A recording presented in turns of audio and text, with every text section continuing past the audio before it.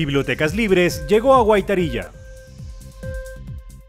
La Dirección Administrativa de Cultura ha gestionado ante el Ministerio de Cultura 250.000 libros que serán distribuidos en el departamento de Nariño. Guaitarilla es el décimo municipio visitado con la estrategia de promoción de la lectura y escritura a través de la innovación social y educativa. Por medio de las lecturas eh, motivamos a los chicos a leer, eh, llevamos los temas, eh, por ejemplo, el respeto, los valores, rescatar los valores de una manera divertida.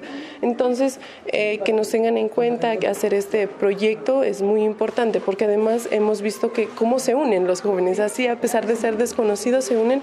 Bibliotecas Libres para Todos es una estrategia de dinamización de las bibliotecas públicas en el departamento de Nariño y busca promocionar la lectura y escritura a través de la aplicación de metodologías de innovación social, inteligencia colectiva y trabajo en comunidad para construir y generar soluciones a las problemáticas identificadas por los participantes en su territorio. Permitiendo procesos de narración de esas problemáticas, de hacerlas visibles, eh, de construcción comunitaria de, de proyectos y de iniciativas para darle solución a las problemáticas. Estudiantes, docentes, líderes comunitarios y comunidad en general participaron de un taller de dinamización a través de metodologías de innovación social para trazar la hoja de ruta según la cual se hará la apropiación y aprovechamiento de los libros entregados en cada municipio. Las actividades resultantes del taller fueron agendadas y se firmaron compromisos por parte de la Administración Departamental y la comunidad participante, encaminados a la ejecución de las iniciativas y propuestas resultantes.